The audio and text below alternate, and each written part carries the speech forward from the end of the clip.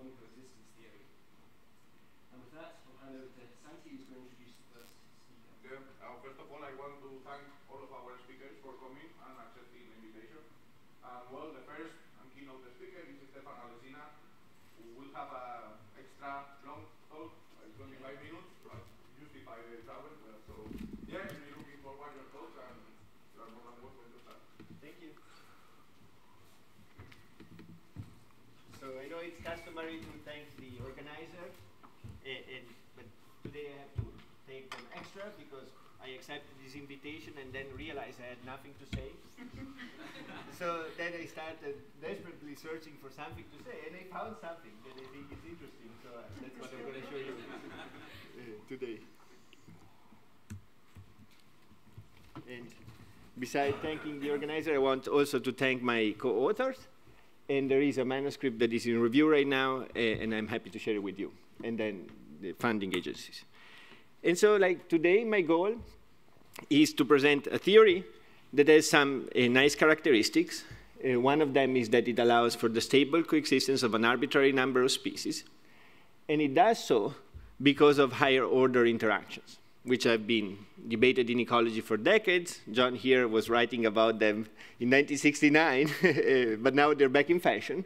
And this theory can produce any uh, species abundant distribution, and it's highly robust to changes in parameters, which I find interesting. And uh, just to get started, I would like to consider this picture of the Amazon rainforest. And there's like two things that I would like to say. One is that you can hardly fit any more trees than there are, right? Unless you can grow them on water. And the second thing that it's more difficult to see from this picture is that this is a highly diverse system, right? If we were to draw a 100 by 100 meter plot, we would find more than 200 species of trees coexisting in this forest. And so, like being a theoretician, I want just to have a cartoon of this. So there's a number of trees. It's packed, right, with trees. And they all are of different species, identified by the colors. And at some point, one of these uh, uh, tree here, like this purple tree, dies, right? And this opens a gap in the canopy. And therefore, like the seeds in the seed bank start germinating and competing, and eventually one of the seedlings will grow faster than the rest and fill the gap. Right? At the end of the process, we ended up with the same exact number of trees that we started from. And so this is what it's called the zero-sum uh, Uh, dynamics. And so because we, we have a fixed number of trees, what I'm going to do is to track the proportion of trees of each species, and I will call this x of i, such that their sum is 1. And then we need to define three main processes. The first process is death, right? So each species will have a death rate, d of i or d of j, and you can think of this as the inverse of the average lifespan of these trees, okay? And so when we have a certain proportion of trees, this is the proportion of trees that will die in a certain time step will be the product of these two numbers. The second process that we need to define is, of course, birth, right? So we could think that each a tree has a certain fertility, right? It produces a certain number of seeds that will germinate or not. So let's say the f of i is the, the number of seedlings produced by a tree of species i, right? And this could be different from another tree of species j. And so like when we're picking a, a seed, imagine that I take all the seeds in the forest, put them in a bag, and then I extract one. then the probability will be proportional to this f of i times the proportion of trees of species i, x of i. So that's bird, and the last thing that I want to introduce is like an interaction between the species. So imagine that we pick two seedlings of two different species, I and J, and we put them next to each other and they have to fill this gap in the canopy. Which one will win the competition? I will call the probability that I wins the competition against J, Hij. And of course, the opposite is going to be HJI, and their sum must be 1, right? One of the two will eventually win and fill the gap. Right? So you could think of this as a matrix of probabilities of winning against each other. And so like this is my hij, and that is defined as 1 minus hji. Thank you very much. Okay. So I said that this theory relies on higher order interactions, but I'm going to start with pairs. So I'm going to say, let's play a game in which we have a forest. Every time a tree dies, I take all the seeds and then pick two at random, plant them there and see who wins, right? So, so we compete the first seedling with the second seedling, and the winner fills the gap, right? And then if I take uh, this type of framework, I can derive very many different models. And so some limiting cases, for example, are when all the interactions are the same, one half, right? So I flip a coin to decide who wins the competition, and all the physiological rates, f of i and d of i, are identical. Then I recover a neutral model in the spirit of Hubbell and other uh, neutral models. At the opposite end, I have still same physiological rate, just for simplicity, but now I have that there is complete dominance between seedlings. So when I have two species, I and J, one either always wins or always loses against the other. Then I, I can think of this matrix H as depicting a graph, a special type of graph that is called a tournament, and this is what I studied with Jonathan Levine in 2011, and I'm going to have a, an example of that. Of course, you can generalize this to saying, and they can choose any probability of winning, Hij, Hji, in which case we would talk about a hyper tournament. You can think of a generalization of a tournament, and I'm going to concentrate most of my talk on this case, identical physiological rate, such that I can compare with neutral theory or tournaments, but arbitrary eh, comp competitive ability that ranges from neutral to complete dominance. And then, of course, I can generalize this further by taking, you know, different fer uh, fertilities and different death rates for all the species. And I'm going to do this at the end. So if I take the limit of like very many individuals such that I can forget about stochastic effects, I can write a deterministic model for, for these type of things in which I pick two seeds and one wins, and the equation would look like this. These are a bit difficult to, to, to see, so I'm going to just give you an example of a rock, paper, and scissors. So imagine that we have only three species, and they form a rock, paper, and scissors such that there's no competitive dominant. The matrix H would look like this, right? We have one half on the diagonal because the probability of winning against themselves is flip of a coin. And then we have ones and zeros off diagonal, right? And then the equation would simplify to this type of thing. Here is a death term, like the probability that a trio species rock dies, or species paper dies, or species scissor dies here. And then this is the probability that I pick two seedlings of species rock, in which case rock will surely fill the gap. And here is the probability of getting a rock and a scissor, and I can do this in two ways, and also here the rock will fill the gap, okay? So these are the equations. What is interesting about these equations is they can write them in a completely different way. That becomes a replicator equation, which is a type of equation that has been studied a lot in evolutionary game theory. Eh, and the replicator equation looks simpler. And you see that now we have a matrix P instead of having our matrix H. And this matrix P that are payoffs is H minus the transpose of H. So it's the difference between the probability of winning and the probability of losing. And and so this depicts like a game between two players that play with a zero-sum game. Like if you win $1, I, I lose $1, such that the amount of dollars that are lost or won is the same, and it's constant. And this is basically what we studied with Jonathan in 2011. So this is how the matrix P would look like for rock, paper, and scissors. Right now we have plus ones and minus ones, and we have zero on the diagonal. And here are the equations. What is interesting is that equations that looks very different from the preceding one are in fact the same type of equations. And you can do very simple algebraic manipulation to show that these two systems of equations are exactly the same, which means that I can find results with one set of equations and apply them directly to the other one and vice versa. So, so it's very convenient. So what about the dynamics of this thing? So, so if I play this game, what happens to the species in the forest? So if we take a rock, paper, and scissors, and we start from any positive initial condition, what we see is that these species will oscillate up and down, and they will oscillate about one equilibrium that is one-third density of each, which is like uh, the only fixed point in the interior of this simplex. And so basically, I can start one-third each, they will stay flat, and as soon as I move a little bit, they will start oscillating, and these uh, cycles are neutral. So if I move it a little further away, they will oscillate with larger amplitudes. And the same happens in the more complicated case of like having hyper tournaments where I have probabilities of winning that you know, are depicted by these gray arrows here. So for any system I can come up with, starting with, say, five species, a certain number will go extinct, and these will go extinct irrespective of initial conditions, so they always end up being filtered out. And those that coexist, this tree, for example, will uh, persist through these uh, neutral cycles. So they will cycle up and down. And the same happens in more complicated cases. Here I have five species coexisting through these neutral cycles. And I can even have the strange case of four species uh, cycling up and down. And I say this is a special case. Why? Let's imagine that we build these tournaments or hyper tournaments like these matrices at random right? So I can build a tournament at random by saying for each pair, I flip a coin, and I decide the direction of the arrow by looking at the direction, uh, either head or tail, right? So this would be this case here. For a hyper tournament, I say for each pair, I draw a random number between 0 and 1, and I set hij to that number z and hji to 1 minus z. Okay, so then now I can build a, a, tournament or a hyper tournament as large as I want. And let's say that I start with the S species. Then I let the dynamics unfold, wait for long enough, and I end up with K species coexisting. What is the probability that if I start with S species, I end up with K?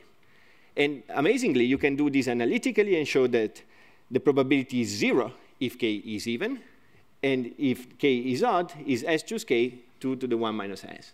And this is true both for tournaments and for hyper tournaments, as shown, for example, in simulations here, right? So the probability of getting an even number to coexist, uh, species to coexist at random is zero, which is what mathematicians would say, like, there's infinitely many ways to do that, right? But they have measure zero, so, so they're infinitely rare also. Okay, so that's why having an even number of species in this setting is very special. It requires some fine tuning. So, so when we're doing this, we're implicitly fine tuning the parameters to make this happen. And fine tuning in biology don't go well together. So I don't believe in fine tuning. All right. What about the type of species abundance distribution that can this model uh, create? Turns out that if you give me any species abundance distribution X star that you like, I can build infinitely many systems that have that as an equilibrium. So this theory can produce any species abundance distribution that you like, of course with the caveat that if you want to have an even number of species coexisting, be assured that there's some fine tuning such that if I change the coefficients in H even of a little bit, some of them will go extinct. Okay. Right, so just to summarize this first model, for any matrix with S species, we have that a certain number of species will go extinct irrespective of in initial conditions. The other one will coexist irrespective of initial conditions. And those that will coexist will cycle neutrally about a single equilibrium point, x star, that we can choose arbitrarily. So we can, we can match our, say, data if we want. All right, this is what I want to say for two seedlings at a time, and now I want to extend it to three seedlings at a time. So imagine that we have a gap in the forest, and there's three seedlings competing. Two are kind of closer to each other in space, so these two will, will compete first, and then the winner will compete against the third, and then the winner of the second bout will fill the gap, right? So we have a chain of uh, competitive bouts. Okay, and I'll try to put like a little icon of three over here such that you don't get confused if we're talking about two or three. So you can do the same that I did before. You can write down all the possible ways of having three seedlings of species i, j, and k, and, and write down differential equations that they would look like this. As before, I think this is easier to see looking at uh, rock, paper, and scissors. So as before, like we have our matrix H, which is the same as we had before. We have our death terms here that are the same as before, but now we have to account for sampling three seedlings, right? So this is the probability that we pick three seedlings of species rock, right, and then rock will win. There's three ways of picking two rocks and one scissor. There's three ways to pick one rock and two scissors. And of the six ways that you can pick in order rock, paper, and scissor, two of them will lead to the winning of rock, right? So, so the equations are like this. As before, we can simplify this and write it as a replicator equation, right? So, so I can write this, and now instead of having a matrix of payoffs, I have a tensor of payoff, a three-dimensional uh, matrix in which I can write Pijk as a function of the pairwise interaction. So this is very special, right? It's not any uh, payoff tensor. It's a very peculiar one, right? Where, where I basically build it based on pairwise information. And you can think of this as three players playing rock, paper, scissors at the same time, right? Before we had the two-player game, now we have a three-player game, but we will see many of the results don't really change. Just to give you an example of this payoff tensor, like now we have to slice the tensor into three slices, so these are the three slices, and these are the payoff of, say, player one that plays rock, when, for example, player two plays also rock, and player three plays uh, paper, right? And these are the equations. And as before, you can show that these two different ways of writing the, the model are in fact equivalent, and as such, I can translate the results of one into the other, and vice versa. What about the dynamics, right? Before we had these uh, neutral oscillations, and now magically they're gone, right? So, so, so what happens is that allowing for three species at a time to compete for uh, filling a gap moves the system, the dynamics from neutral oscillations to global stability. So wherever I start the system of rock, paper, and scissor, I will always end up at the equilibrium. And this is globally attractive. And this happens also for the other cases. So here we had the two species that went extinct, and the other one now equilibrate. And the same happens when we have five, or any number really, and also when we have four. Though this is a special case. Again, if I were to tweak the parameters a little bit, some of them will go extinct what happens to the equilibrium? If we have this uh, very special case in which all the physiological rates are the same, the equilibrium does not change. Like we have the same equilibrium when we sample two seedlings at a time, three seedlings at a time, 15 seedlings at a time, it doesn't matter. It's the same equilibrium. It just goes from being neutrally stable in the case of two to globally attractive in the case of more than two. So just to summarize the second model, where we pick three seedlings at a time, we start with a certain matrix H on H, uh, S species. Some of them will go extinct, irrespective of initial conditions. Those that uh, coexist, however, now do so stably at an equilibrium point X star that is globally stable. Uh, and globally stable provided some very mild conditions, which I'm not going to talk about, that only happen when we have an even number of species. And, and, the good point is we can choose X arbitrarily. So, so we can take any species abundance distribution that we like, build a matrix, or in fact, infinitely many matrices, if you will, that lead to this uh, being the global attracting state for the system. Okay, now you said two, three, what about four, five, six, seven, eight? You know, like we can say, well, we can generalize this. We have a certain number of seedlings that we pick to fill the gap K, and then we compete the first with the second, whoever wins with the third, whoever wins with the fourth, etc., etc., etc., and eventually we pick a winner, right? So what happens is not very much, right? When we pick three seedlings, this system equilibrates at about 300 time steps. When I pick four seedlings, it just goes faster. It equilibrates at about 200 time steps. And when I pick five, at about 100. So, so we go to the same exact equilibrium, we just go there faster.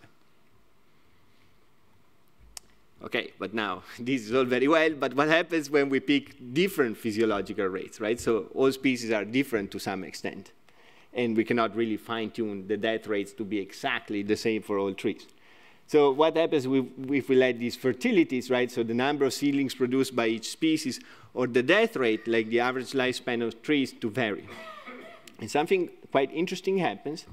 So in the case of picking two seedlings at a time, where we had neutral stability, now we have global instability. So there is still this equilibrium point, but it's globally unstable. And you can see this because you can see that these cycles are slowly but steadily moving away from the equilibrium point when we perturb these uh, growth rates, like these fertilities and death rates, right?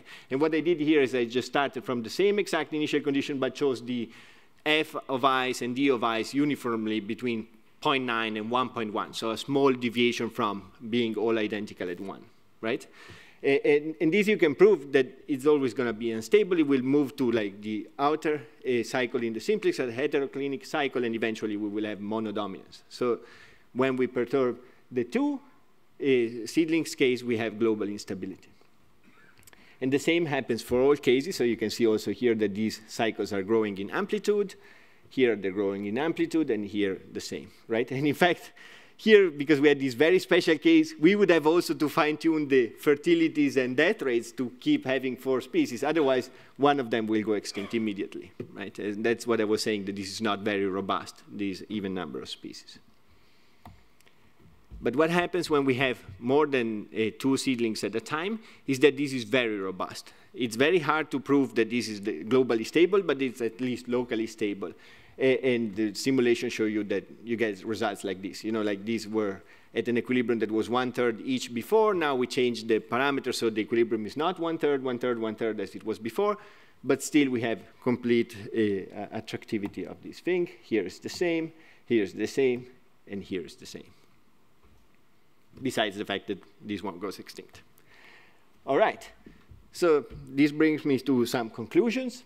The first one, I think it's an interesting distinction that was held in the literature in ecology for a very long time, and it's the difference between interaction chains and higher order interactions proper, right? So, so in, uh, an interaction chain, you could think of like a sequential number of steps, thank you, Eh, eh, in which we have a bout of competition, and then we have another one, and then we have another one, right? so like intransitive competition is always seen as something that operates thanks to these indirect eh, effects that are apparent through these chains of interactions. And higher order interactions, you could think of them as like the abundance of one species modifies the way other two species, for example, interact with each other, right? Here, because we have a, a separation of time scales, right? The, the, the, time it takes to, for a tree to die, like the lifespan of a tree, is much, much longer than the time it takes for filling the gap. And as such, we have that these two things that are not distinct anymore, and they're kind of blurred in the same a, a concept, right? So, so, so we have that these are actually higher order interactions. These things stop working, but you can see here there's like of abundance is multiplying each other, which is the, the signature of a higher order uh, term. and this, we can write it in two different ways, like either a sequence of competition bouts or higher order interactions, and we get exactly the same model. But this is because nothing can intervene in the time we're doing this sequence of interactions. Things cannot die in the meantime. And, and, this is like an example of, of this phenomenon, but you could think of very many other examples. Imagine, for example, that we have a food web right? And there's some herbivore consuming a primary resource and then being consumed by a predator. If the, the herbivore dies and is eaten by the predator before it can reproduce, it basically linked automatically the resource to the predator in a higher order term. So, so like these type of mechanisms could be fairly general. So that's point number one. The second point is more empirical, uh, and it's the following. If I want to parameterize empirically pairs of interactions, and I have n species, I have n choose 2 pairs, so it's basically n squared divided by 2 uh, numbers that I have to find, right? And it's hard. If I want to parameterize triplets, right, then how many triplets do I have? n choose 3, which is basically n cubed divided by 6, which is a much, much larger number. So you can think that empirically, you would need an incredible number of experiments to be able to parse out all these higher order terms. And when you go to quadruplets or, or higher order even, it gets also more complicated, right? So the good thing about this theory is that we don't really need to measure anything in terms of triplets, right? All the, the parameters follow naturally from pairwise interaction. So if I have my pairwise, I can write down my tensor as a function of the pairwise interactions. And these could be, for example, parameterized empirically. And what about intransitivity? This is like a talk on intransitivity, supposedly, so I wanted to mention this fact. And so, I, I, don't know if I mentioned this, but like when we have this tournament game, right? We can have coexistence of species only if we have an intransitive cycle spanning all of them, right? So imagine the rock, paper, and scissors being a good example. Here, when we allow like this uh, uh, probability of winning to vary, like this matrix H, we have that we need to have intransitivity, at least in probability, right? That the probability of imagine a coarse grain this matrix H by taking as 1 whatever is greater than 50% and 0 whatever is lower than 50%, I would recover something that is intransitive, at least in the case where I have identical physiological rates. When I allow, allow these physiological rates, death terms, and fertilities to vary, then I can still have coexistence of a perfectly transitive system because I can choose these uh, other parameters such that they still coexist, right? So, so it's much more general. Like the, the, the, model when we have different fertilities and death rates is as complicated, if not more complicated than, than Lotka-Volterra. And finally, I just wanted to summarize, like, my goal was to present you this theory, and this theory is a theory that relies on higher order interactions. Like they're a key ingredient. It's not something that I've added. It's something that is fundamental for the coexistence of species in this theory. And it, it, there's some nice properties. I said, like, uh, we can have an arbitrary number of species coexisting, so we can totally have like a system which there's 200 species of trees per hectare and can produce any species abundant distribution, which also tells you that like uh, when we're trying to parse out, say, neutrality versus niche using like a static picture like species abundant distribution, I don't think there is hope to do that because like the static picture, I can produce infinitely many models and I cannot distinguish among them by just looking at the static picture. We really need the dynamics.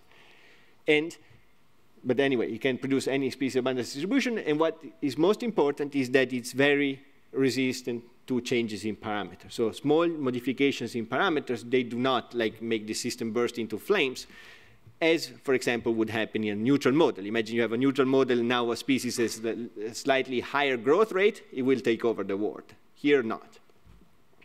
And what I think is promising is that we can find these parameters empirically, because basically we only need to measure like fertility rates, death rates, and pairwise uh, interactions. And with that, I'm happy to take any question. Thank you.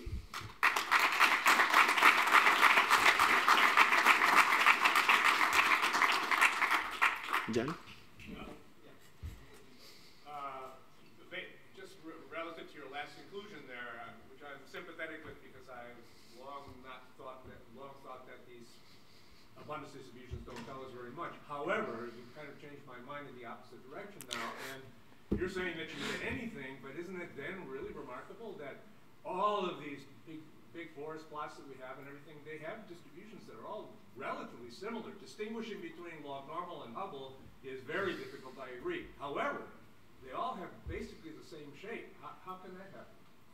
Right. Yeah, that's, that's a very good uh, question. I think that maybe for that you would need to think of something like stochastic. Then, then you would probably have uh, that these things are favored. Like when you start sampling, like of course, things that are very abundant are gonna be there, and then you have like a immigration of rare species, and, and then you get something that looks like a log normal. Yeah, yeah, but that's a good point. Axel.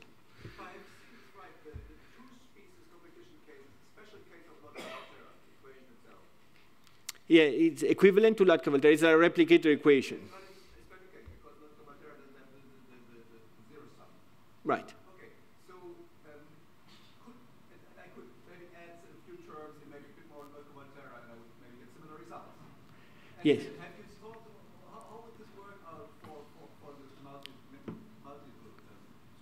Right. So each replicator equation of the kind I showed you when we have two species interacting, like this one here, this, Okay, so this is like a system with n species. You can transform this with an algorithm into n minus 1 Lotka-Volterra. Well, I mean, you can also do backwards. Like you can take any Lotka-Volterra n of n species and transform it into n plus 1 replicator equation of this kind. No, no, they, they look exactly like generalized Lotka-Volterra. Oh, define funny, I'm not sure. Yeah, but so, so that's what it is. Like, I think if you had Lotka-Volterra, imagine that now I have a constant like growth rate you would find very much the same results, like for, say, competitive Lotka-Volterra with, with all the same growth rates. If you change the growth rates, then you end up with a system that looks very much like the one that I show you when you have different growth and death rates. All right, well, I think we probably better move on, but thank you very much again. Thank you. Thank you.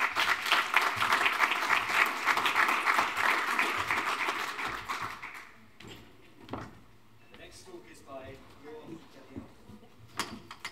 So she's going to talk about measuring the importance of intransitive competition for coexistence.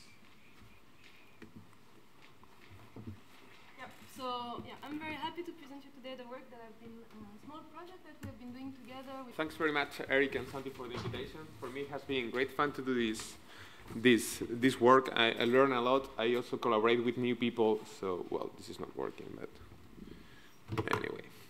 And so, thanks again. So, so I will move for a rather theoretical um, work to a rather experimental work. And um, the, the, the main motivation of this work is because we've been working with phylogenies and functional traits to try to understand modern coexistence theory and these different drivers. And after doing that, we were really interested in what happened when you put a modern coexistence theory into a multi-species framework. Because actually, what we know is that many of the systems are rich species systems, and the Chesson framework somehow is limited because it only takes into account species as being pairs or being two different groups. So before I move to a multivariate system, a multi-species system, I would like to briefly remind what Chesson thinks about how coexistence work. And you have two kinds of species differences, which are niche differences, and you have also fitness differences. And each difference in Chesson framework stabilizes coexistence by making interspecific competition higher than interspecific competition, and, uh, and fitness differences do not promote coexistence, it tends to promote competitive exclusion. And in the absence of, of niche differences, it determines who wins. So actually, the, the cool thing about Chesson framework is that you have a region for exclusion and a region for coexistence that depends on how species are, are, are along this, this system, and two, you can have two species that coexist, niche differences overcome large fitness differences, or you can have also coexistence because small niche differences overcome small fitness differences. Okay, so we have for a pair, when you draw an arrow for one species to another, you have not one or zero that we have seen with simulations. You have a component of niche differences and a component of fitness differences. But what happens when you go for the simplest case of a of a three-species system. And as Laurie said before, you may have species arranged in a transitive competition or intransitive. In transitive competition, you have coexistence because species have shared enemies. So if you will have B and C, there will be no coexistence, but because of the presence of A that harms more preferentially B than C, you have the three species coexisting. And for the case of the intransitive loop, you have, as we explained, the rock, people, the rock uh, scissors paper game. So, so when you have, for instance, as the experiment we have 18 different species, one of the first questions to, if you want to try to understand how important are intransitive and transitive competition for species coexistence is how prevalent is. How, usually how prevalent is transitive competition and intransitive competition in natural systems? Because we have no idea at all. Um, and we have a random expectation that at least the 25% of all triplets should be intransitive. And it's very easy to understand. If you have a species pair, the chance of, as, as Stefano said, the chance to win one species or another is a half, and then the chance for this half to be in one different direction or in another is half of the half, and this is why you have the 25%. Another important thing is that nobody has before teased apart the different effects of pairwise niche differences for these new configurations when the species are in triplets, right? So you can have uh, the effect of, of, of the intransitive loop, for instance, to promote coexistence. But you know also, and uh, there is work showing that, that you have pairwise niche differences also stabilize the coexistence at the same time. So another important question is, which is the relative importance of these intransitive loops compared to the pairwise niche differences that the species may have and stabilize also coexistence.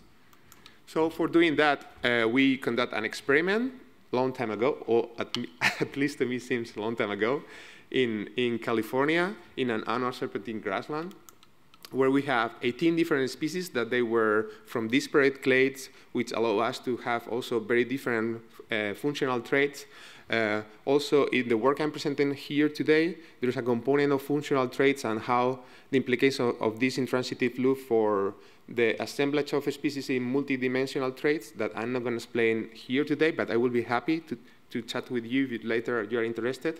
But anyway, the, the thing is that we have very closely related species with very similar traits, like these two species on the top of Agoseris, or these species and these another species of Lotus, but also we have very different weird stuff as well. And what we did, as Stefano said, that we need to do is, is for each pair of species having a focal individual of one species that can be blue or can be red, competing against another individuals of the same species or, or the other species. So we can have for each uh, pair of species the four interaction coefficients. So we have the, both the interspecific effects of each species and also the interspecific effects on one species over another. And we did that uh, putting focal individuals of each species across a density gradient of densities of neighbors. So we were measuring their response to competition at the seed production against the number of neighbors in the community. We also measure, as Stefano said, many other vital rates, such as uh, germination rates and seed survival in the soil that accounts for the uh, uh, for the soil bank effect. And then we put all in an annual plant model that is basically two terms, the seed bank here in the left and the per capita seed production. And the F accounts for over here, that accounts for how much seeds you can produce in the absence of competition and how this potential for reproduction is, um, is uh, hammered by the this term, which means the intra and interspecific competitive effects. We also measure niche overlap for the annual plant model that Chesson defined for the Lotka-Volterra model as the square root term of the interspecific, interspecific effects divided by the interspecific effects. And we have shown in a previous paper that for the annual plant model is just exactly the same. And we measure niche difference as 1 minus rho, which is the niche overlap defined by Chesson. We also measure fitness differences that basically is two components. One is a demographic response, is how much seeds do you produce in general, which gives you competitive dominance, but also how well you respond to competition. So it can give you another way to be a competitive dominant. And we did many different tricks as well that I'm gonna show you in these two slides. So to know the effect of how well intransitive competition stabilizes consistency without pair, pairwise niche differences, we need to maintain the structure of the fitness differences, but we need to put all, all niche differences between, so we need to maintain the structure of fitness difference, sorry, but we need to remove all niche differences between pairs of species. And to do that, the paper by Chu at Harvard, uh, 2015, said that, that we can do that by multiplying the interspecific coefficients by the inverse of niche overlap. Okay. We also, to know whether the triplets that show coexistence are feasible and stable, I'm not going to go through that, but we use linear algebra, and we do also obtain the Jacobian matrix of our annual plant model. And we test whether the values are below or above 1 because our model is discrete. And these are the results. So what we obtain, the first question, if you remember, is how prevalent is intransitive competition? So for our system, uh, regardless whether you measure transitive and intransitive loop, uh, transitive and intransitive loops consider whether there are fitness differences, whether there are considering equilibrium abundances, or whether they are considering only triplets without pairs that already coexist. In the three cases, always is the same. You have less uh, number of intransitive triplets than expected by chance, always less, which means that for our system in general, uh, we observe more transitive dynamics than intransitive dynamics for the more than two, 25,000 uh, assemblies, that is all the combinations of, of 18 different species from 3, 4, 5, up to 18, we only observe 13 feasible assemblages. Most of them are transitive triplets, that are this one over here. Others are intransitive triplets, and we have also some feasible quadruplets there are many interesting points here. One is that although you observe more transitive triplets than intransitive triplets, they are taking into account that the prevalence of transitive triplets in our system is higher, then it's not, there are not significant differences between the feasible triplets that we observe of transitive and intransitive. Another interesting result is that for those feasible triplets, this is um, this, this arrow uh, makes the strength of the fitness differences, and the number uh, makes also uh, the number of the, of the niche differences that can go from 0 to 1. And what we observe is that for those feasible triplets that, for instance, A, one in the left, that they have from MIPO to uh, they have strong fitness differences. For this triplet to be feasible, you need to have high niche differences to counteract the negative effect of fitness differences in promoting competitive exclusion. But for instance, if your fitness difference between species is very low, like from here to here, you don't need niche difference at all to still maintain feasible, feasible triplets. So I think it's very important, but what it's saying is that niche differences is acting as a buffer against fitness differences when you have triplets or quadruplets and so on. And that's very important for the following result I'm going to show to you. Another important result is that of these 10 triplets, only three of them were stable. And none of them were intransitive. Most, all of them were transitive. So it's another evidence that for our system, intransitive competition is not prevalent and it's not very important from promoting coexistence. And what I think is most important at all is when, when you remove the niche differences doing uh, the methodology I saw before, none of the triplets and quadruplets in our system show positive, uh, so feasible and stable equilibrium abundances. So what it's saying is that, okay, transitive and intransitive competition can promote coexistence, but actually it's pairwise niche differences who is underlying the coexistence that we may observe in multiple species assemblages. So you may think that only three out of more than 2,500,000 uh, assemblage, it's kind of like weird, like why we have so low degree of coexistence. And actually, if we randomize the interaction matrix, this number of three triplex showing coexistence is, is, is, is more or less what we will expect by chance. So I think I said all the conclusions, but I say transitive intransitive competition in our system was infrequent and failed to promote coexistence without niche differences. I think this is important. And uh, I think the low degree of coexistence we observe is rather to the parameters of how species compete in nature rather than the model. So actually nature is, for our, at least for our system, is re really transitive and, and follows a competitive hierarchy. There is a lot of limitations that I can discuss later, whether whether uh, we need to, to take into account high order effects, whether our approach is phenomenological, whether also our approach is taking into account only a single location and a single year. So if you have more limiting factors, you may encounter more intransitive competition. And to, to end, I would like to, to be very to give my thanks to Daniel, Nathan, and Jonathan, who are also part of this project, and also all the fundings. Thanks very much.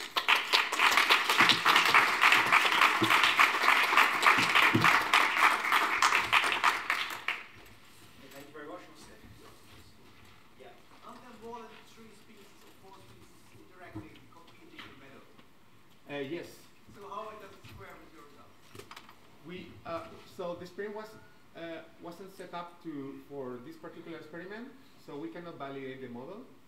And uh, I don't have like uh, after a year the the seed production of the communities because they were all assembled experimentally.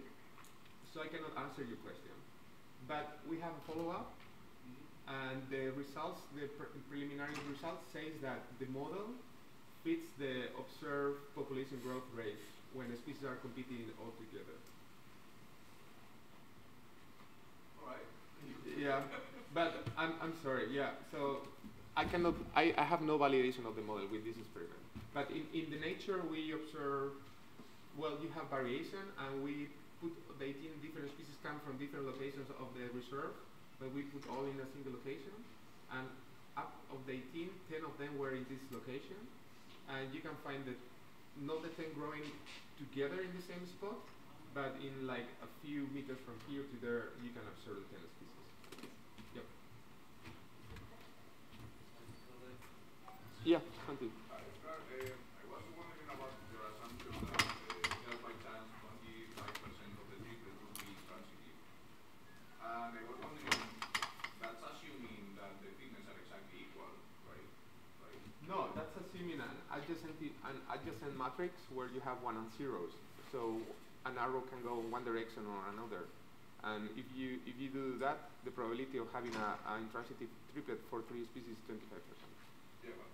but, but the point is, uh, you're assuming that is uh, 50% the probability of a given species in, in removing or outcompeting the other.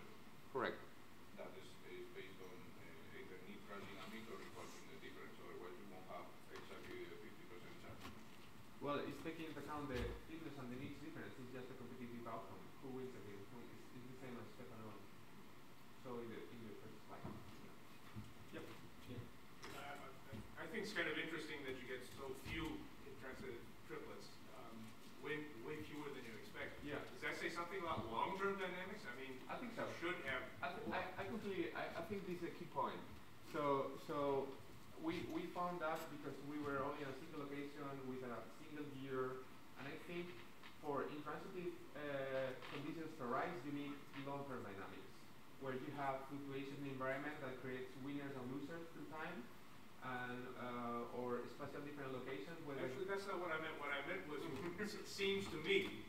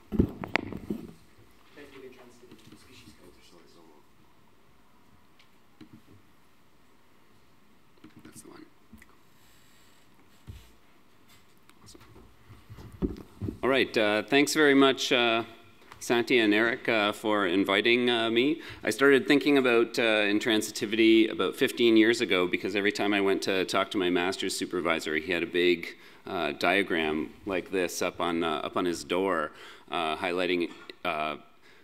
Well, some estimated intransitive uh, genotypic relationships. This was uh, Lonnie Aarssen who studied this for a while uh, at the genotypic level. And uh, it always piqued my curiosity, and, and that led to some interesting discussions in the lab. And, and, and uh, we've kind of been, uh, been, kind of been toying with uh, this work a little bit ever since. Uh, it's really nice to see, though, that uh, that there's the the field is opening up, and there's getting and it's obvious that lots of interesting work is is continuing in there. So what I'm going to talk about, the title is slightly different than in the abstract or in the um, in the posting, and that's simply because once we started, we realized that that it was worth expanding the nature of the question a little bit uh, beyond. So I'll explain exactly uh, what that means. Um, a fairly standard uh, introduction here. Most people recognize intransitive competition uh, as a, you know, exemplified by the simple three, uh, three uh, strategy game, paper, rock, scissors. But you can, and, and, this is important, you can expand this out into more dynamic or, or more widespread systems, and, and uh, you know, even popularized by, by uh, the five species system or five, uh, five uh, strategy system, paper, uh, scissors, rock, lizard, Spock. up there. Right, so, uh, and, and of course, this expands greatly. The more species you include, the, the more possible uh, networked uh, interactions that you can have. Um, and once you start looking at this, and this is the typical way that intransitive uh, tournaments are, are, are considered, at least the, in, uh, this is the way I've learned about them over time. So you can have uh, a tournament graph like this, where the arrows point from a subordinate to a dominant, although sometimes it uh, points from the dominant to subordinate.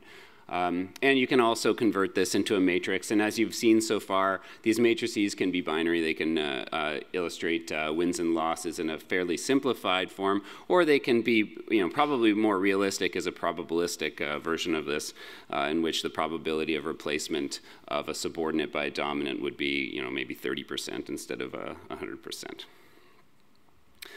Anyway, when you start to consider larger tournaments, uh, it becomes uh, a bit of a problem.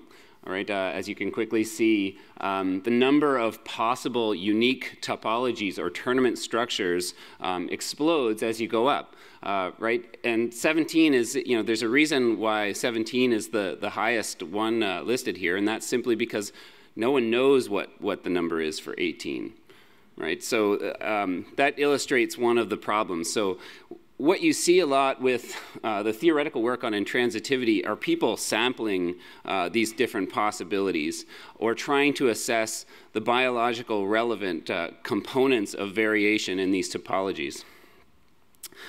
Now, some of the work that uh, I did with Rob Laird a few years ago looked at this in a fairly simplified manner. We looked at all tournaments possible for five species sets, and all the tournaments are illustrated on the right there. And then we used a simulation model uh, in which these species competed. And you can see that the, um, a simple measure of coexistence, which was final species richness in, in a spatial model after 500 generations, uh, resulted in some different um, different patterns of, of coexistence. And what's interesting about that is that this uh, coexistence is not actually adequately uh, covered by existing metrics of intransitivity, which means uh, there's something about, uh, about these topologies that is more than uh, what we know about intransitivity that matters for coexistence.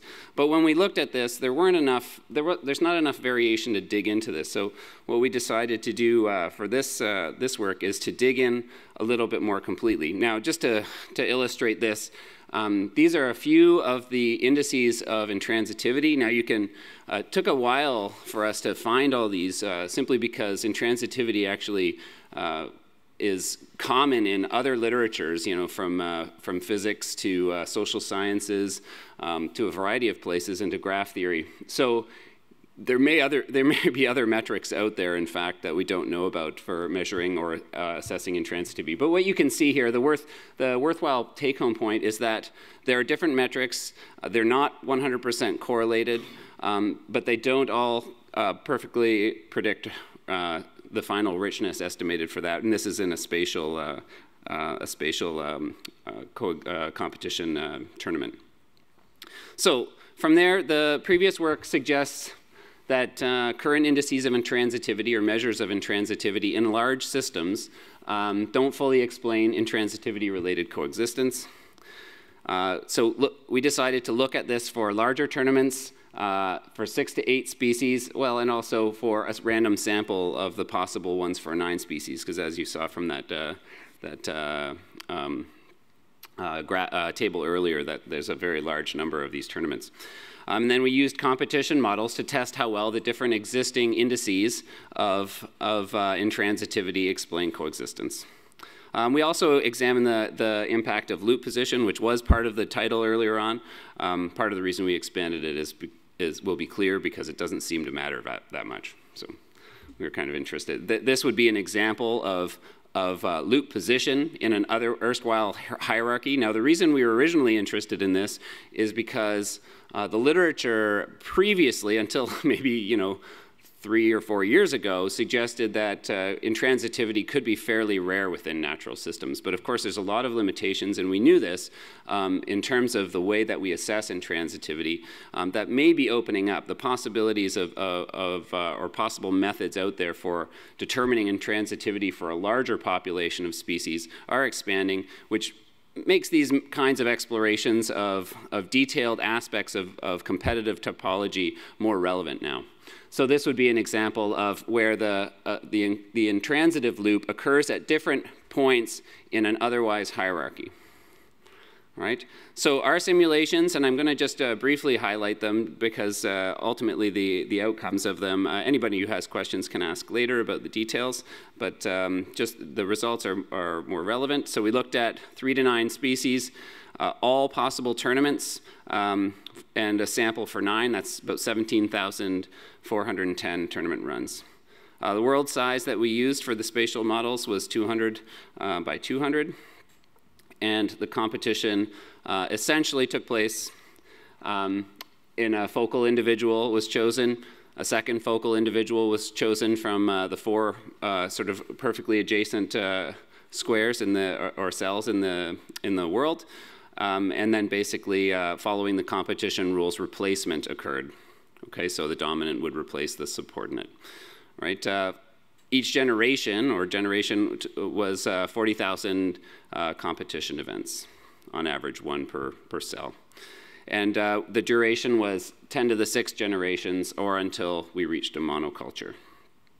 All right, so that's just a summary here. Um, and you can see at the end, we also um, looked at a 20 species system with a loop at each uh, point along that other, otherwise hierarchical system. So for a total of 18 samples, just to consider that. All right, uh, some of the indices we have, Slater's I, um, which uh, is, a, is, is basically the num minimum number of reversals to convert a tournament to a hierarchy. So if you take a look at this, one reversal uh, is required to, to return this, uh, this competition tournament to a hierarchy. Uh, this is a, um, sometimes scaled by the maximum number of, of reversals uh, needed, and, and it's uh, a different index uh, that, that's called the Petraitis index.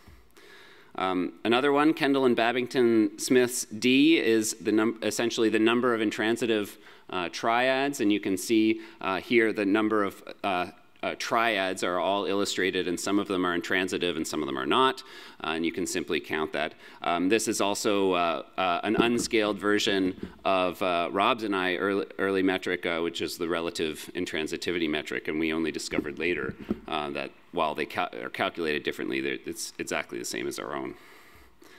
All right, uh, rho and delta, delta prime, I mean, are are uh, from the uh, sort of different end of the literature, but also effectively two measures of the distance of a matrix or, or a tournament from a hierarchy. Right, uh, you can do this. These two are, are very closely correlated as well. We're a little less familiar uh, with those, but essentially one is the number of edges in, involved in uh, the intransitive relationship, and one is the rank of the cycle matrix, which is again a distance from, from a hierarchy. All right, and then we included two binary uh, uh, uh, indices. Are, is there an unbeatable species? If, uh, if there is not an unbeatable species, you, you're likely to end up with at least three species left. Is there an always beatable, are there any always beatable species? Because if there are, they're going to disappear very quickly right? So the tournament uh, uh, outcomes looked a little bit like this. Um, essentially, uh, as I said, they're spatial. All right, there's there's certainly uh, abundance fluctuations within that realm, but uh, over many generations, uh, and the, and here um, coexistence of of these individuals lasted millions of generations in the spatial version. This is sort of an illustration of, of the spatial world. And you can see essentially the, the clustering that is responsible for coexistence in that. Uh, in, in, in, a less spatial version, uh, coexistence, uh, uh you end up with one species quite, quite quickly. We did those as well. So the results, uh, and I'm just going to give you a sample for the eight species one because it's easy to look at, is you can see that uh, both the first two um, reflect fairly strongly coexistence and the other measures a, uh, do so in a more binary fashion. Uh, it is worth noting as well, though, that they are not, they are not uh, capturing all aspects of uh, coexistence. There's more complications uh, related to uh, coexistence. This would be a basic summary of it, which illustrates that Kendall and Babington Smith's measure uh, is probably the best in terms of predicting coexistence, at least in this model, which made us feel good since ours is an analog of, our, our metric is an analog of that uh, previously existing one as well. All right, and so you can see that, that each of them are capturing uh, some aspect of it, but none ultimately capturing everything, although um, Kendall and Babington Smith is capturing a fair bit. All right, uh, runs, I mentioned loop position. Loop position did not seem to matter unless uh, the intransitive triad was uh, included the dominant uh, uh, three species, essentially, because they, they function as a single unit um, outside, and that, that's basically similar to the, the binary uh, estimate of whether there is indeed one dominant, truly dominant species or not. All right, so in conclusion, simulation tournaments show that the number of intransitive triads in a tournament is the dominant predictor of, uh, of variance and coexistence. Uh, aspatial of, of, versions of these models produced an analogous uh, set of results and loop position doesn't really matter except when the, the, the most dominant species uh, is included uh, in, in uh, an intransitive loop. And that's it. Thank you.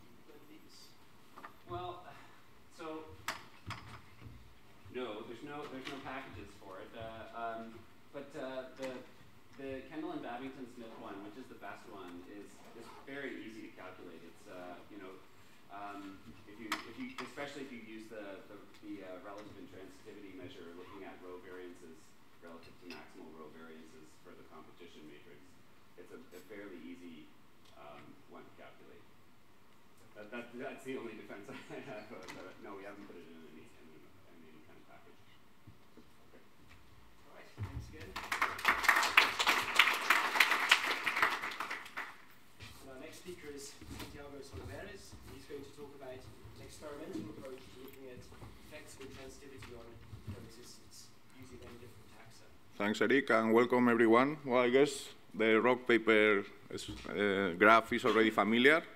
And actually, that's a reminder of and, and an acknowledgement of, of, of, my appreciation of the work that you guys did and also Stefano and John, because that's the, the work that actually inspired what I'm going to present today. So thanks very much, and thanks for coming, by the way. And I promise they won't be equations. I'm just an empirical ecologist, I'm not a modeler, so I get lost with these humongous equations. So I just decided to test experimentally uh, what these guys have been doing over the years. So that's a graph of one of the papers that inspired me in the world of intransitivity, and is by Robert and Brandon. And well, what they show here is pretty much uh, a results of a simulation. You have been tons, you have seen tons of that by now, probably. So I'm not going to go over that, but yeah, it's basically when competition turns to, uh, turns to fully hierarchical to an intransitive competition, you get more species. And that actually wasn't just a model result. Uh, oh, oh.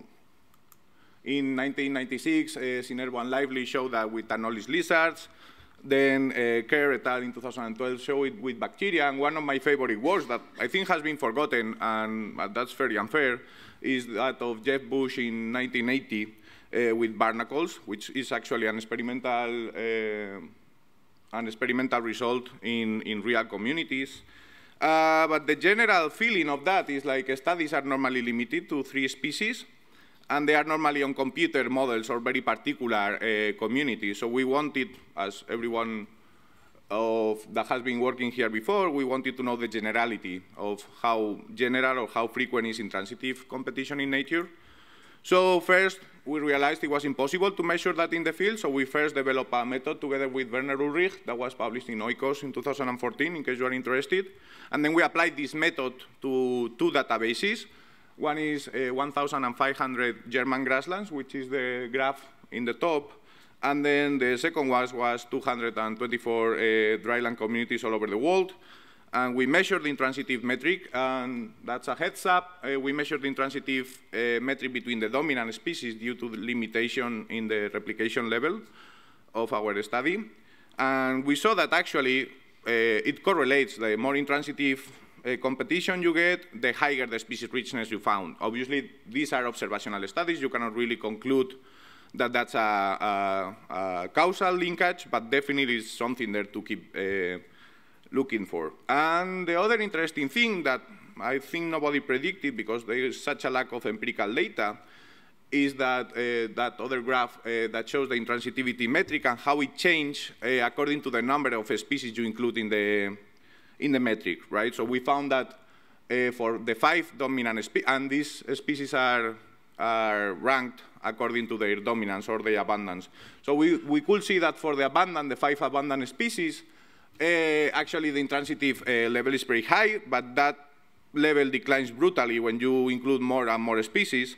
So that leads at, uh, us to an hypothesis which we call the nested net hypothesis that is basically like intransitive competition will be more common between the dominant species than between dominant and rare species. And we decided that it was a, a limitation in the current literature because uh, we have these observational patterns and we have these models and we have these little tiny experimental studies, but we didn't have a common methodology applied to several taxa to really uh, understand how common intransitive competition is. And, and, we didn't have like multiple complex uh, systems that we could test. So the aims of this talk are basically to test how common are intransitive competition networks in nature or natural uh, communities. What are the drivers of intransitive competition networks and how does intransitive competition relate to biodiversity? Uh, heads up is that these results are fairly, fairly um, uh, preliminary, so don't totally trust them, and some things are, I'm just working on now. So it's just to show up a little bit uh, what we are doing, but is not uh, totally final results. So the methodology, that's clear. that's the only thing is clear. Uh, we first designed the pairwise competition experiments, and from that, as you have seen a ton of times, I, I, another thing that I'm going to show is one of these uh, loops with the balls, because I, I knew you will see several of those. So we decided pairwise competition experiments, and from that we can measure intransitivity, and then uh, we calculated the probability of each species of, of, participating in one of these intransitive loops, and we will relate that to the functional traits. That's work that we haven't done yet. But also, uh, we will relate that to, inclu uh, to include the dominance, which uh, is to test this nestedness hypothesis. Then we actually, because we knew the level of intransitivity of different species combinations, uh, we, we could assemble experimental communities that we knew they differ in the degree of intransitivity, and we did that for three, five, and seven species. And because normally the mechanisms, uh, and Laure was uh, showing potential mechanisms that can lead to intransitive competition, one of them is allelopathic compounds, actually. So we decided to have a knockout treatment with activated carbon to kidnap these allelopathic compounds and see what happened. And then we did measure uh, diversity, different metrics of diversity and coexistence at the end of the experiment. And we did that for five taxa. So aquatic protists, vascular plants, saprophytic fungi, bryophytes, and soil bacteria. Obviously, I didn't do that all by myself, so there is the list of collaborators there, and really appreciate and thank them. Uh, okay, some results. So the first question was how common are intransitive competition networks in nature? Uh, the box plots show what we found in the field applying our method. So the first result I'm happy to show here is actually, it seems that the observational method we developed fits very well with the, the little dashes, which is what we found experimentally with pairwise competitions. Uh, so we can see that for plants, mosses, uh, fungi, and protists, uh, the intransitive levels are pretty high, much higher than the fully hierarchical competition. So that seems to suggest that is fairly general. And then you see a plus F. One of the treatments we applied, it was a fertilization experiment. In the case of bacteria, it was just a fertile soil versus an unfertile soil. And in the case of mosses, it was a fertile, or actually adding nitrogen or, no, or not adding nitrogen. And what else results here? That's pretty much it. Like uh, you can see that in the bacteria, the levels of intransitivity are very low. In the plants and the protists tend to be really high, and the mosses and fungi somewhere in the middle. We wanted to know the drivers of, of competition. The first bit is the environmental drivers. The previous work has suggested that more heterogeneous environments and more productive environments can lead to intransitive competition. And we saw that for these German grasslands. In here, we have land use intensity. That's an SEM. Don't worry about the details. But basically, uh, land use intensity, mainly fertilization, which homogenize uh, ecosystems, reducing transitivity, and that has an indirect effect on species richness, which is obviously smaller than the, the other effect. And then we saw in the field with mosses that uh, intransitivity was related to productivity, which is somehow counterintuitive to what I just showed, uh, that fertilization decline the level of intransitivity, and that's because it does increase uh, the amount of invaders, but it does decrease the, the target biomass or the biomass of the target species that are competing in an intransitive loop. Uh, the other main result, and I will be more or less quick here, uh, we wanted to test this nested net hypothesis, basically summarized in this matrix, and our, our thought does, uh, was that uh, intransitive competition should be more uh, frequent or, or, stronger between dominant species or between rare species, but not between these two groups. That's more or less shown there. And we actually tested that with our pairwise competition experiment. We calculated the, the, the level of intransitivity, which is the, the x-axis in these uh, histograms, of the common species, which are in red, and the rare species, which are in blue. Common and rare means uh, field abundances, so it's totally independent data. And, we, and with saprophytic fungi was actually the hierarchy, like the, the order of the, of the species in the matrix, meaning that competitive superior are above and competitive inferior are below. And we found more or less a general pattern that uh, intransitive com competition is stronger or much frequent uh, in either abundant species or species that rank higher in the, in the competition, except the case of fungi, which actually has a hamshed that I cannot really explain right now. Um, more results is uh, what, we, what I showed for plants at the beginning. It turned out to also accomplish for mosses. We did a field uh, observation, and we relate the intransitive level to uh, species richness of mosses, and the relationship was even better than with plants. But that still is high intransitivity correlates with high species richness. So we related that to our manipulative experiment, and we saw that actually the, the level of intransitivity we obtained from pairwise competition, it does uh, relate positively to effective species richness, which, which is related to the eveness of the community. And talking about replicability, we actually repeated the, the whole fucking thing one year after the other, and the results are fairly consistent. That's 2014 plantation, 2015 plantation.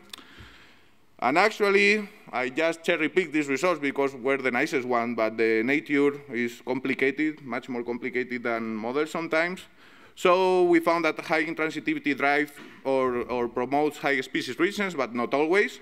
So we did that. I didn't have time to analyze the bacteria uh, yet, but basically for most fungi plants in 2014 and 2015, in 15, you can see uh, three metrics of coexistence that we analyzed, the number of species that went uh, extinct, the effective species richness, and the number of colonizers that came to the, to the experiments, which in fungi was none obviously, because it's a Petri dish experiment. And you can see in, in green shade uh, what was more or less favoring our a priori uh, thoughts that intransitivity will increase, somehow uh, species coexistence. And the T is the treatment, this activated carbon treatment. We also added insecticide in the case of plants. And you can see that in many cases, uh, intransitivity does lead to a higher coexistence, but that's not always the case. In the case of moss, it's nothing significant. That's actually because we are not taxonomists of moss, uh, and the taxonomer was busy when we planted them, so I think it was some confusion with the species. That's one of the reasons I told you it's a priori result, so don't take that into account, please. And another funny thing is actually I was expecting uh, three species intransitivity to have much stronger or much, uh, much positive results according to, to prior theory as we were showing in all the models. But actually, it turned out that five species and even seven species were more um, normally uh, linked to higher intransitivity, leading to higher coexistence. So to quickly conclude, intransitive competition seems to be the norm, not the exception. Uh, competitive or abundant species seems more likely to be involved in intransitive loops. Those factors that reduce environmental heterogeneity or decrease productivity are likely to dampen intransitive competition and intransitive competition enhance species richness, but not always. And with that, I conclude. I'm happy to take questions, and thanks very much to all my collaborators. Otherwise, this work won't be possible. So thank you.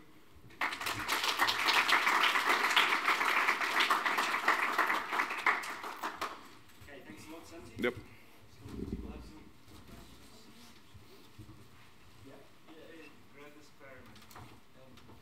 basically you have pairwise, and then you scale up to the matrix with all. Yeah. But do you think this might be somehow? Because you know, basically when you have full main the matrix, it's like you have the all possible interactions, but actually they are derived from. Yeah, that's a very nice question, and that's one of the things we wanted to test is uh, whether or not these high-order interactions matter. I actually reread one of the works of John, and he did that in the 69, but I didn't remember. So, yeah, but the idea is also whether or not these pairwise uh, interactions can really predict what will happen when you put all the species together. No idea. Yeah. Thank you.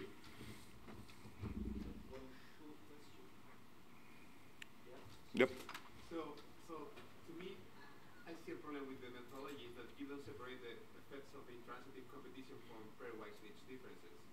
So, I, I'm Yeah. sorry to ask that. I'm very sorry to ask that. But uh, do you think it's, it's that not acknowledging the effect of pairwise niche differences is okay? Because, for instance, you see the result that the more environmental variability that you have, the, the higher the effect of Yeah. But also, because you have higher environmental variability, it's more likely that you have higher niche differentiation. Yep. Yeah, I, I totally agree with this question. And actually, uh, I, I thought you will remember that, that we, we designed the, together with the pairwise competitions, we have this, we, were, we went to Zurich to talk to John, to Jonathan to see how we could lead with that. And we have uh, this pairwise competition divided by inter, intraspecific, and mono individuals. So we hope in collaboration with you to test the niche and fitness differences and see how that could explain why or when intransitivity does lead to coexistence, what are the conditions that are required for that, and whether or not you require more niche and fitness differences when you increase the number of species, which will be more related to what Laure is doing with the length of the loop also. So yeah. Thanks. no problem. And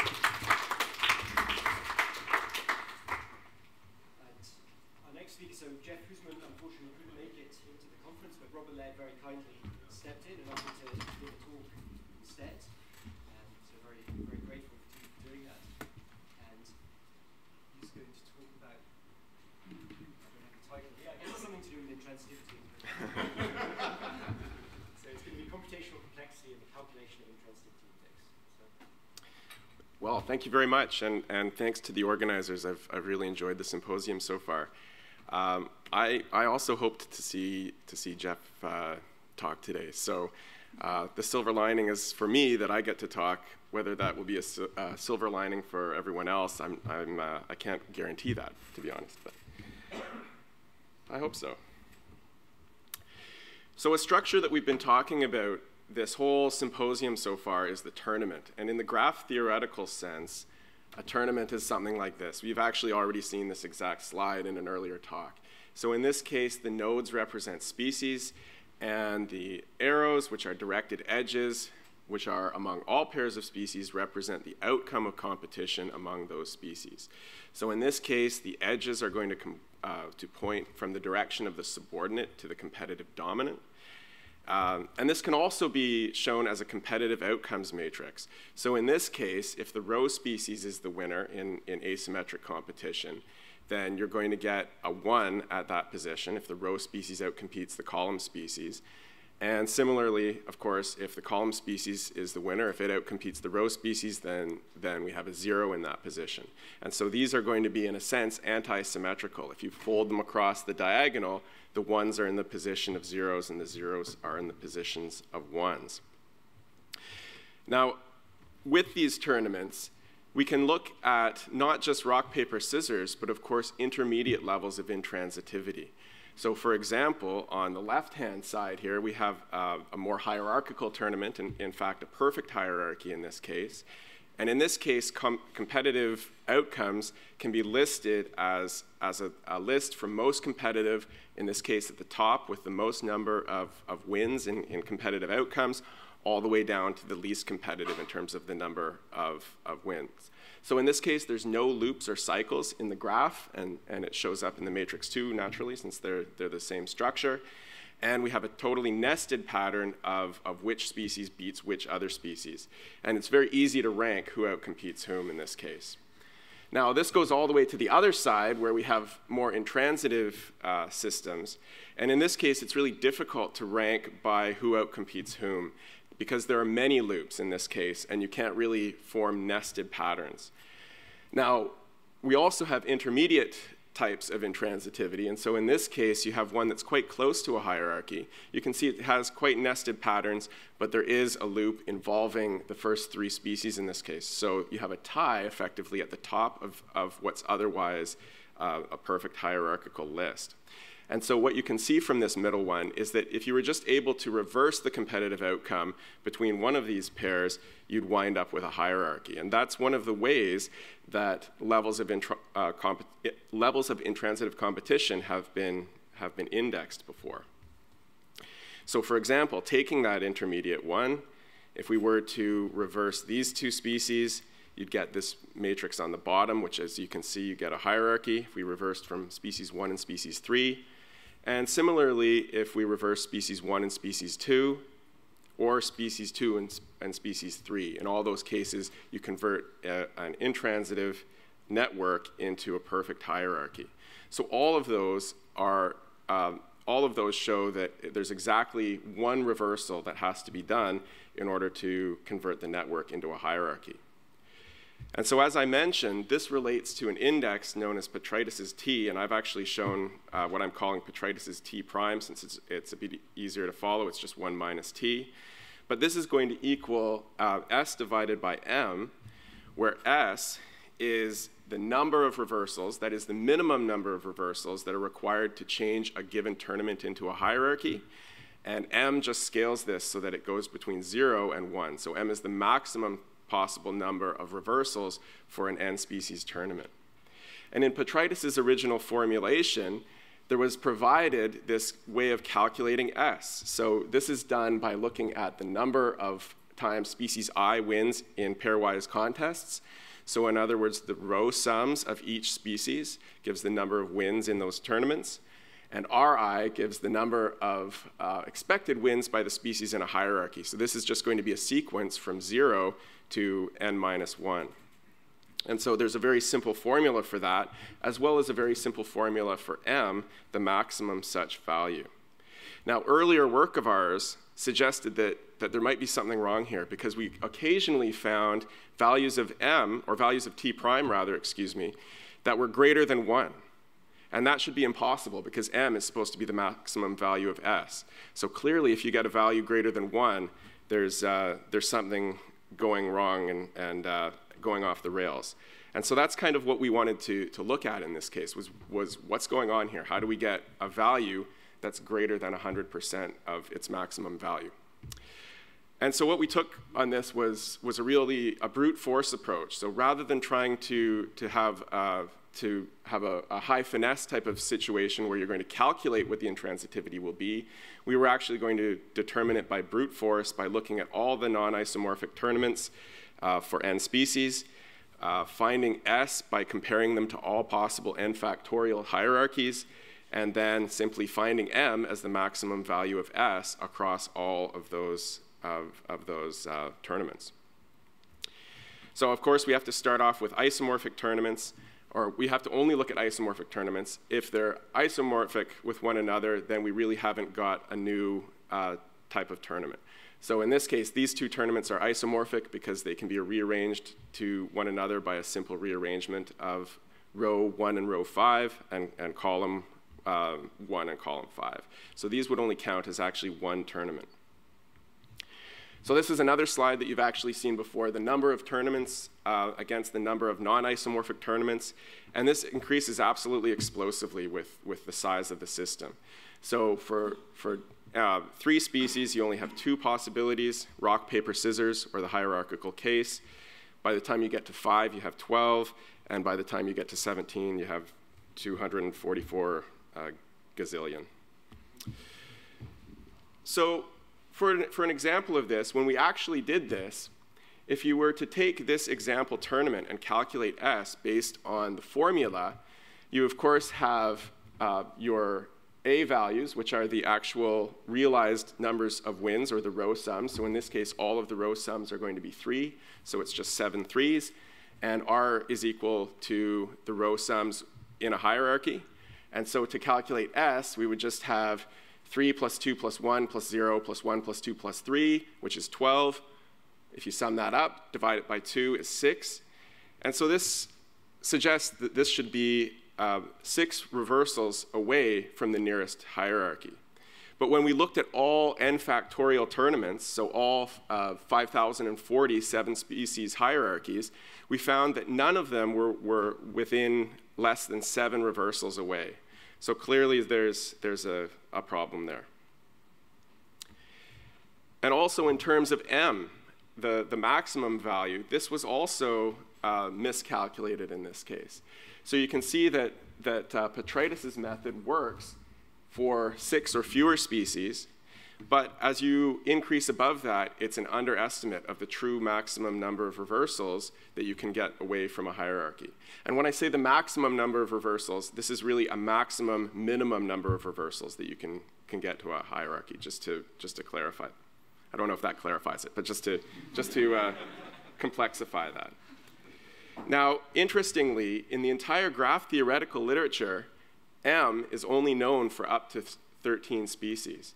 But lower bounds are known from the literature, and we can see that even with the lower bounds of these values, it's still uh, an, an underestimate using Petraitis' method. And as we delved into the graph theory literature, which, which has actually worked on this quite a lot, we found that there's an even more fundamental problem with the calculation of S. So not only is their formula incorrect, but the goal of trying to find a formula is actually futile. Because S is what's known in, in computer science as an NP hard problem, um, and it's equivalent to, to quite a fundamental problem in computer science known as the minimum arc set length problem um, in, in computational studies and, and computational graph theory. Uh, so this means no closed form solution is likely to exist. And uh, in fact, a friend of mine who's a computer scientist told me that if one did exist, then you could actually convert any NP hard problem into this problem and solve all the NP hard problems. And, and that, would be, that would be sort of like the, the most important discovery in computer science ever. So this no closed form solution is likely to exist. I, I don't know why I hedged it. No closed form solution exists. Um, and the time it takes to solve uh, S grows explosively with N. So uh, you can calculate it, of course, but not by an equation. You have to use some sort of algorithmic approach. And using our algorithm, you can see the kind of problem that you're up against. So our algorithms, which were, which were done uh, in C++, calculated the, uh, the uh, minimum number of reversals, so S, for 10 species took around one second. And by the time you get up to 14 species, so not that much difference, it took 10 hours. So if I started it in the, in the morning, it wouldn't even be done calculating it by the time, um, by the time I, I left that day. Um, maybe I should stay longer, but I don't know. But anyway, the next morning it was done. It took 10 hours, um, and you can see that it's growing, growing hugely. So what we also then worked on is the relative intransitivity index uh, as an alternative. So uh, going back, this is one thing that we, we wanted to, to sort of solve. Uh, so in this case, again, we have A, which are the row sums, the number of species that each species outcompetes in, in uh, hierarchies, where again, it's basically a, a sequence of, of integers, and intransitive tournaments where they're closer together. And what you can see from this is that the variance, or the sum of squares, of the number of wins, or of the elements of A, is going to be much lower in an intransitive tournament compared to in a hierarchy. And so we exploited this by calculating the sum of squares of those row sums and scaling them by both the, the, the, observed value, by both the minimum and the maximum possible value in order to, to come up with an, an index which we called relative intransitivity. And uh, we were quite pleased with this, and then we discovered that it had been already proposed uh, in 1940. So we were, we were only off by, by about, uh, well, I guess about 65 years when we, when we originally did this. Um, and, in, and in fact, this, when we, when we discovered this linkage, we were really actually happy because one thing we didn't realize at the time was that relative intransitivity is actually the number of intransitive triads over the maximum possible number of intransitive triads in this system. And it turns out that both of those actually do have equations that, that calculate them correctly. So rather than uh, being an NP hard problem, this is a problem that actually does have a formula uh, which can be used to solve for it. So it's much, much more easy to, to calculate, especially as you get to higher species richness. And you can see that, in fact, these are actually quite highly correlated from one another. So these are all possible 456 seven species tournaments showing relative intransitivity on the uh, vertical axis and Petraitis' T prime on the horizontal axis. And you can see from the rank correlation that they're very highly correlated with one another. So to summarize what I've talked about, uh, Petraitis' T, uh, it is a useful and intuitive index if calculated correctly. Um, and it's currently, though, only applicable to species uh, poor communities due to uh, computational complexity. And in particular, as I mentioned, the maximum such value is, is not known by anyone for more than 13 species tournaments. Relative intransitivity, which again is related to, to uh, Kendall and Babington Smith's index, um, is computationally simple. It's intuitively linked with intransitivity since it gives the proportion of intransitive triads, um, and it's highly correlated with, with Petraitis' T as well. And uh, in fact, as you may have seen in, in one of the earlier uh, presentations, it actually seems to do a better job, possibly because it has a finer gradation in, in possible values of predicting species coexistence in, in simple models. Thanks very much.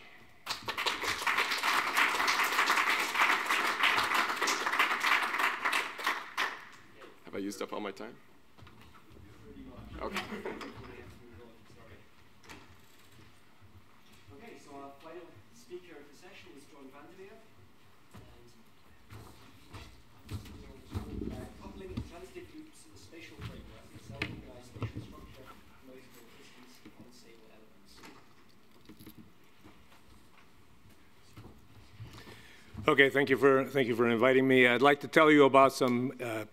this is timed for 15 minutes, by the way. I got, didn't get the message. It's supposed to be 10 minutes, so I'm going to have to talk really fast.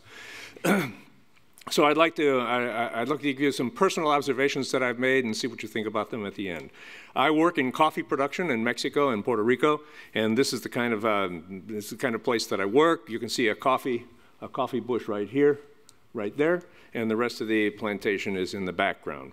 Now, in that coffee bush, frequently what you can find, more or less frequently, you, you can find this pest species. This is the coffee, the green coffee scale, and you can see the adults here, the adults here, and those are the babies there. The babies get blown around so that they get they they basically have a dispersal dispersal rate in the plantation. Inevitably, what happens? They get found by this uh, this uh, uh, actor, this is a parasitic wasp that attacks them so that what you find eventually is a scale insect that's been attacked by a parasitic wasp and you can, you can clearly see it. So what you have here is you either have a coffee bush which is, uh, which is free of the uh, the pest. There you have the pest there, and then you have the predator and the pest combination right there. Now this reminds me of an old uh, experiment. How many people know this experiment? Please raise your hand. Okay, everybody should know this experiment, in my opinion. It's a classic. It's a classic experiment by Huffaker in 1954. And what you have here, you have oranges, and the top, the tops of the oranges have a fungus that grows on them, and there's a mite that eats the fungus, and then there's a mite that eats the mite. So it's a predator-prey system. If you look at a single orange, what you get is a result something like this. Uh, what you get, the predator, the prey goes up, and then the predator goes up, etc. But what you can see here is in this graph, in this graph here, you have either nothing, just a plain old orange, or you have a prey, or you have a prey and predator combination. Uh, if you put all of them together, of course, then you sum the whole thing, you get something like this. You get these very nice oscillations that go uh, more or less in perpetuity. And then if we go to the Lotka-Volterra, simple Lotka-Volterra uh, results, everybody knows these results. You can have either a, a non-existent system, or you can have a stable system, or you can have one of these unstable systems. And I'm going to be talking here today about this situation right here, where when you put it into space, either in the Huffaker example or the example of my coffee plantation, what you get is an empty site, uh, migration of the prey, so you get the prey alone, uh, migration of the predator so that you get prey predator together, or you get, and, and the feeding rate of the predator then tells you that you get an empty site that comes from that. Everybody see what that is? Okay, that's an intransitive loop.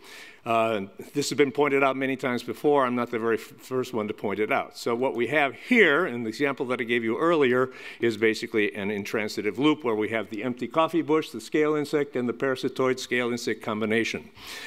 Okay, so we have this, and I did a, just set up a you know regular simple CA uh, CA model on a 100 by 100 lattice and see what would happen with it. And if you look at the various parameters, this the, the parameter this is a parameter space study. So each point here, each point here is. Um, is the uh, predator, predator migration rate, this is the predator attack rate, and then each one of these graphs is a decreasing predator migration rate. And you can see the basic pattern here. It's not surprising at all. I don't think it's surprising at all.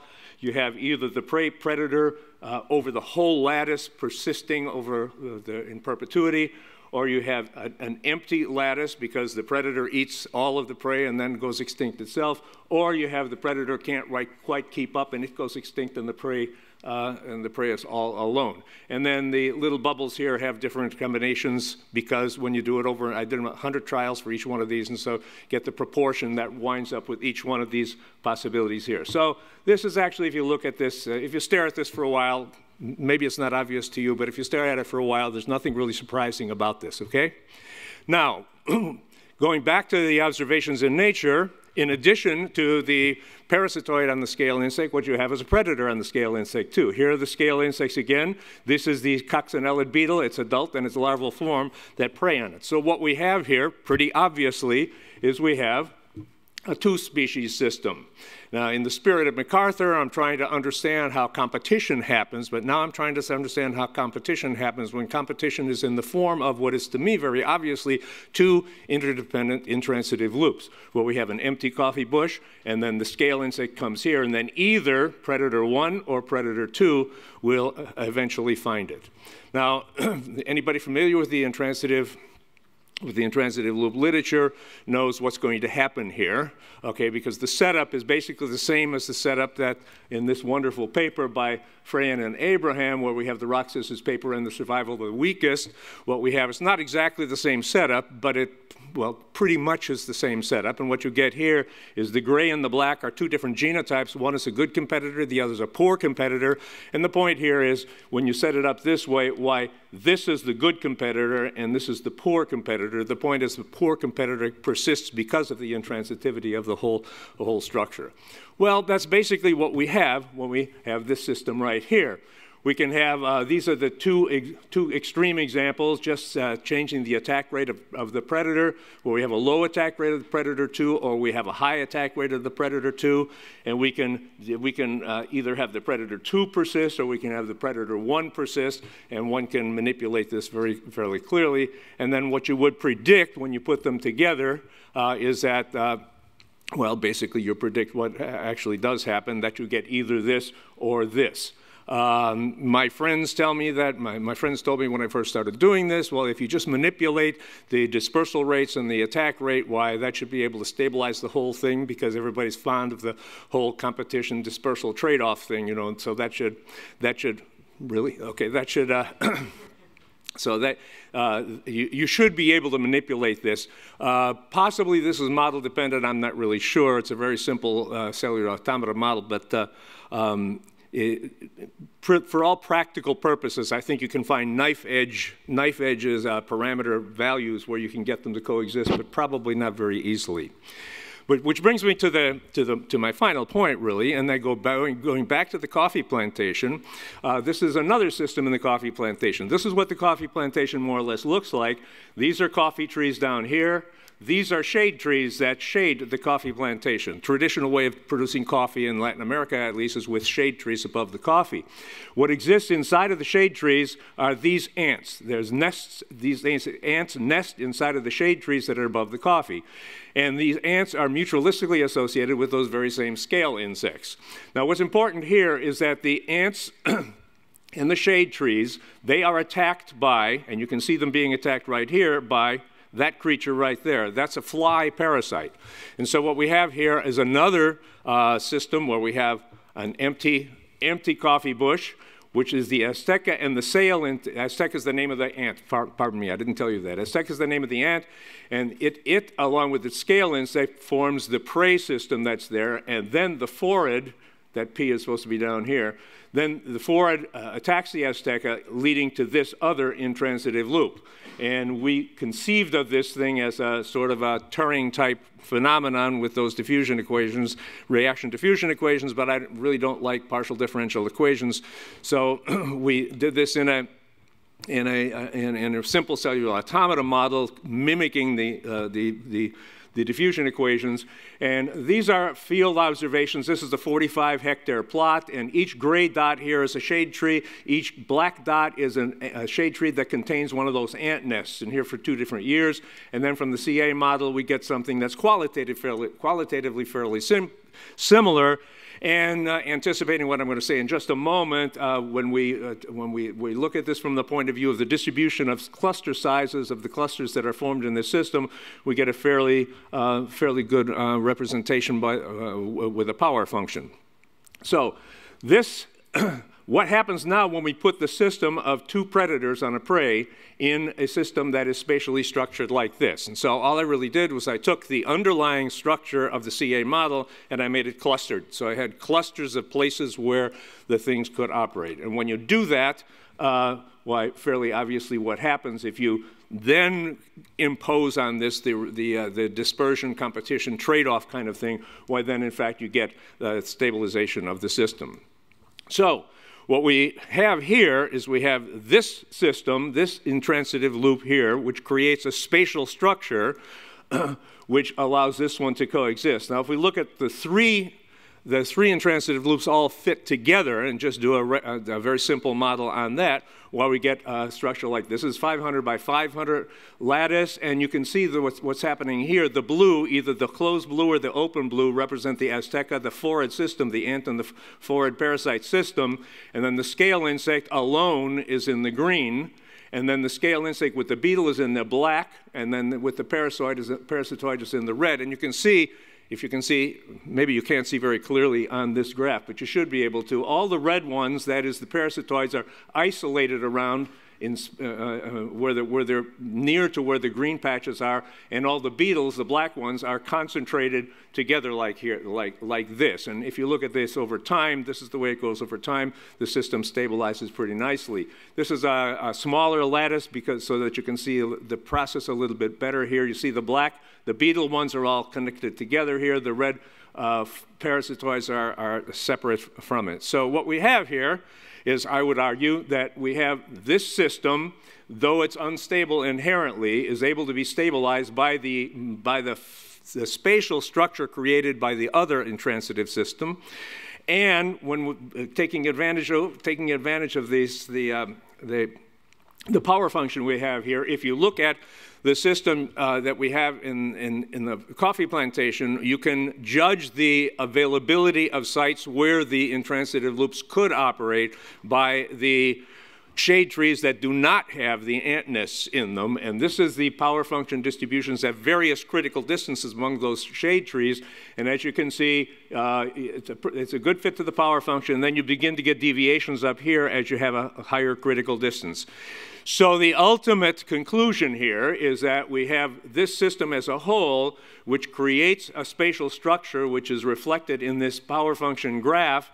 And we have these two possibilities here where this uh, large patches down here, these are the excessively large patches in the system. They favor predator 1. These are the small patches that favor predator 2.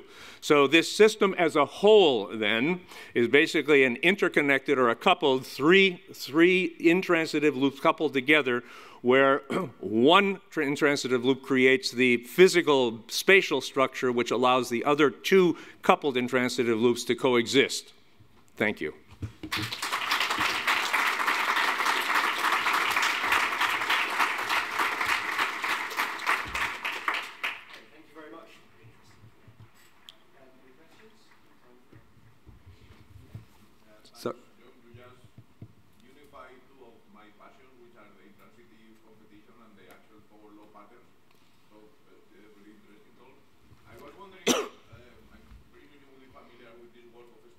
say that that it depends on the type of interaction. Uh, a given biotic interaction can lead to stable, uh, stable communities or less stable communities.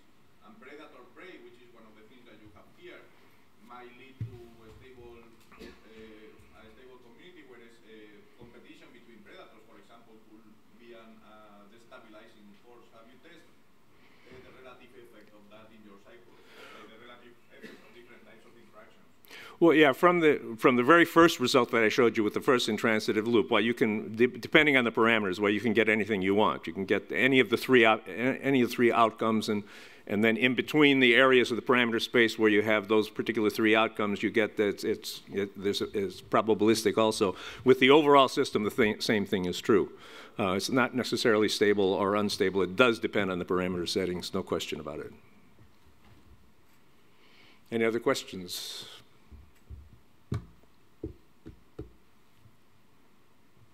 Usually there's at least one question about coffee, but that's all right. I was going to ask maybe if you have, just whether you could use this in pest control.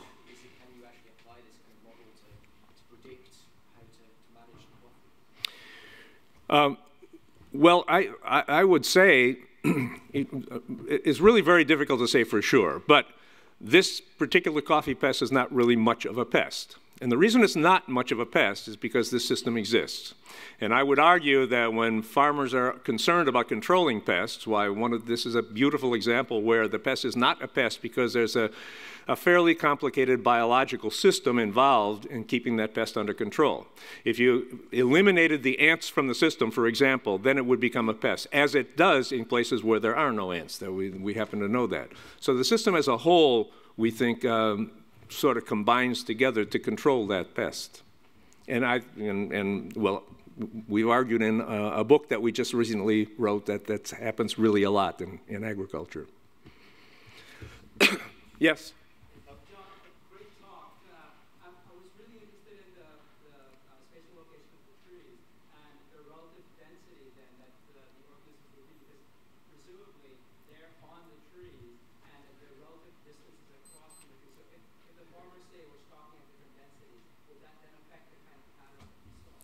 Yes, it most definitely does. Thanks for the question. Uh, that the pattern comes from two different things, actually. The pattern of non-occupied trees, which is what's important here. The pattern of non-occupied trees comes from the way the farmer has actually planted the trees partially, but then also comes from the pattern of the ants attacking the trees. And the ants do occur in these, these clusters of trees because they're always occupying new trees, but then eventually the phorid flies find them and sort of eliminate the entire cluster, which creates an opening for the beetles and the, and the uh, parasitoids to come in. Great. special